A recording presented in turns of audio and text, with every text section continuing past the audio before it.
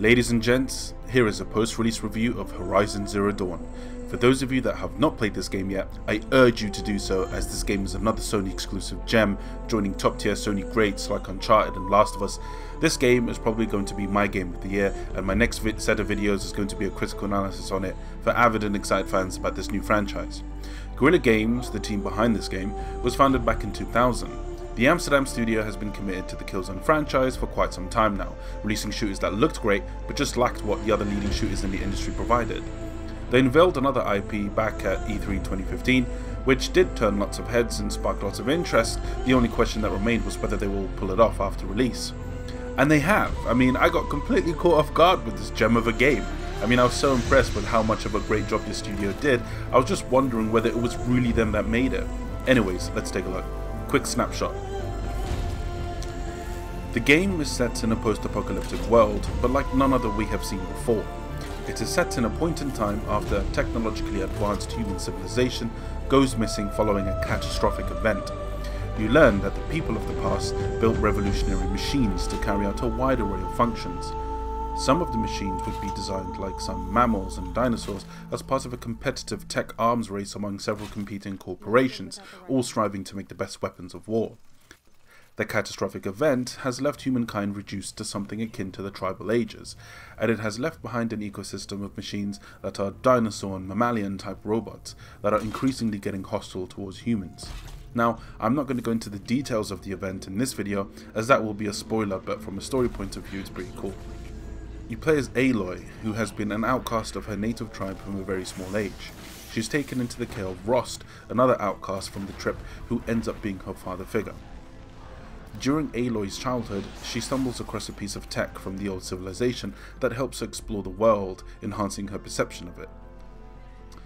Aloy is a headstrong, curious, and badass heroine whose determination and insistence on finding the answer to her burning questions turns into a journey of unraveling the mysteries of the world and what happened.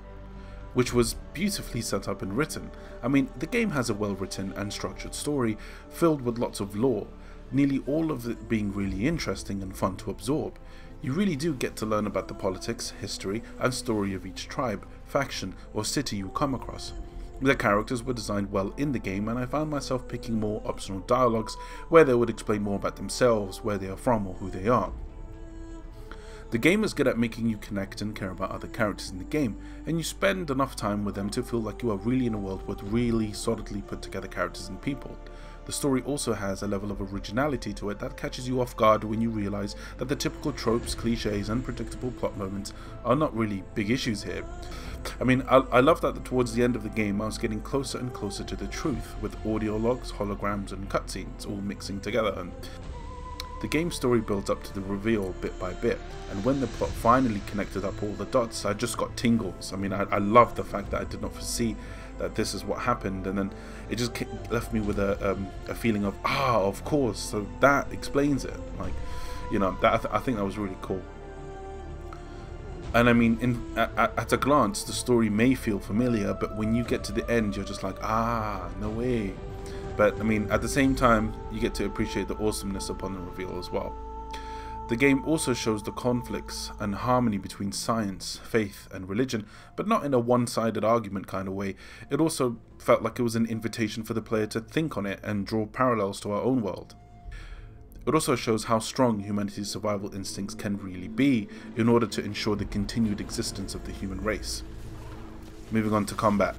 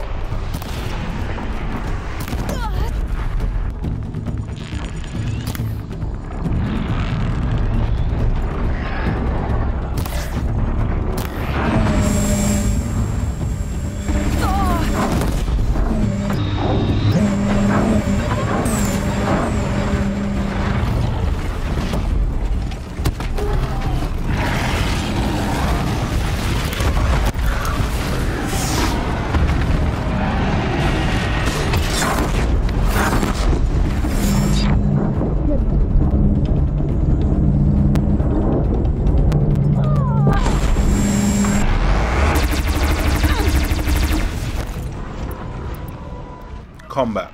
The combat in this game is probably one of the best ones I've ever come across so far. I mean, this is the breadwinner of the game. There are 26 different species of robots to go up against, with each one requiring you to learn what its weaknesses are, which you can visually see upon doing a quick scan. But by the way, there's no tutorials for them, you just have to learn and adapt, which gives the combat a spontaneous and pleasant level of intensity. It gives a Dark Souls feel to it, but I mean, somebody can't. But bear in mind the punishments are not as harsh as um, Dark Souls. In the first moments of the game, you rely on a basic bow and arrow to take down foes, coupled with your dodging ability, a combat roll to avoid random things like tail swipes and deadly pounces. Dodge too early, the foe will readjust and ensure you look silly trying to get away with blindly spamming the button. As you progress through the game, you end up learning strategies and being methodical in your engagements with the enemies. The game's encounters can be quite hard and tricky at times, but the game is not excessively hard. I would say that it's pitched really well. In fact, once you learn how to take out the foes, it becomes routine and less of a challenge, but you still need to be on your toes. And it, and by the way, even when you get used to it, it's always fun to do it. I mean, I recall the first time I was struggling with the Stormbird, which is one of the toughest aerial uh, foes you can go against in the game and the main thing that kind of bugged me was that it takes you like um, quite a well quite a quite a fair amount of time to get its health low. And when I would do it would just do this one tail swipe that uh, you know it, its tail is really far reaching. And uh, it took me out in like one hit. So what was the solution? I used my rope caster more. And um, I'm you can actually blow off the tail if you keep destroying it enough so therefore it won't tail swipe you. But just knowing that there's a little things like that that you can mix up and, and try and uh, make the encounter easier and, and more, tip more to your favor.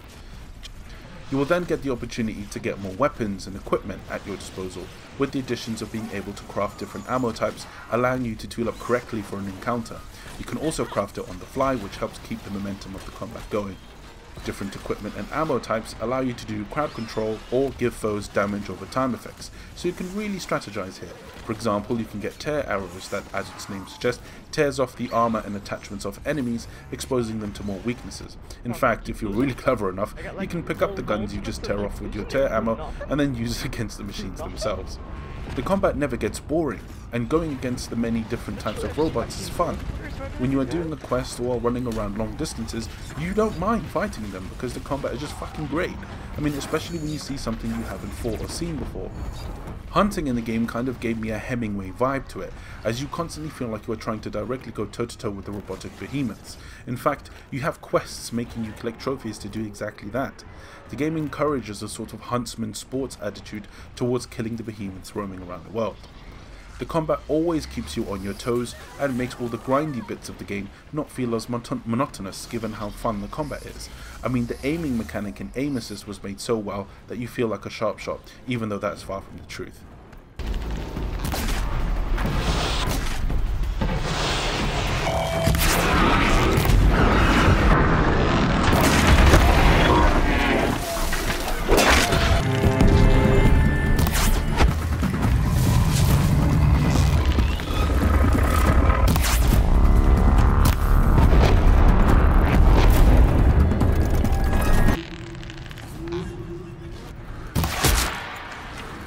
Moving on to gameplay. A good chunk of the gameplay incorporates fun aspects from other good open world games like Far Cry.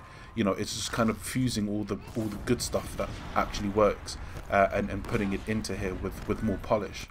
I mean, in terms of side quests and activities, there are zones to clear, tall, long moving long necks you must find a way to climb up to the top of, which will unlock stuff on your map when you do camps to clear, and plenty of other fine side quests and errands to do. You get a piece of equipment that allows you to override certain enemies, turning them into allies or mounts. You can expand the number of species you can override by finding secret locations called cauldrons, which are underground facilities where the machines are mass produced.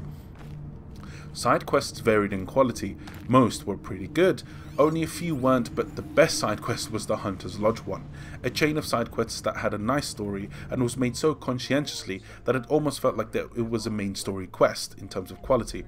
It really felt like you were trying to prove yourself slash earn your stripes to get into the closed off Huntsman society in the game. The side quest in question the side quest in question involved multiple characters and scenes with promise of big reward upon completion giving you a huge incentive to complete it. and the reward is you get tons of weapons uh, that are among the best you can get in the game. But anyways, to do so you have to prove yourself by completing hunting trials around the world. Although you'll be crafting lots of things in your playthrough, the game's resources are plentiful, including the loot. This makes searching every box, corner, room, and defeated mobs a compulsive but satisfying thing to do. The game mechanically is smooth, and the graphics are visually stunning, maintaining smoothness even at 30 frames per second chaotic moments. When you blow the parts of robots or cause lots of damage, you see really cool and bedazzling effects. Particle effects. It is quite clear that Guerrilla are truly pushing and utilizing the most of Sony's console horsepower to give us a really visually detailed game. I mean seriously, this is one of the prettiest games of the year so far. The open world is designed meticulously, with a good range of vistas to traverse. One minute you're in a snowy mountain, desert, canyon, a city or metropolis, forest or even a swampy area. I mean, it's just such a variety of areas that you'll be moving through. The sheer scale and diversity of environments is a true testament to solid game design. My other favourite thing was the music and the sound of the game. Good use of sound and music always amplifies or enhances what's going on in the screen. The sounds of this game are amazing. Playing it with 7.1 headphones, you truly hear the detailed ambient sounds, distant and trembling thuds of the long necks, and terrifying mechanical roars of giant robo dinos that catch you trying to run past. Sound was made so well that the audio immersiveness felt like it was achieved effortlessly. The music is mostly a mix of drums, percussions, and string instruments. The music is also accompanied by some really cool vocals by Julie Elven, and if you like the soundtrack of the game, it's all on there on Spotify for you to save, enjoy, and add to your playlist. It truly complements the story and is weaved perfectly with what is going on in the screen. I mean, just hear what is pumped into your speakers when you decide to bravely engage a Stormbird or a Thunderjaw.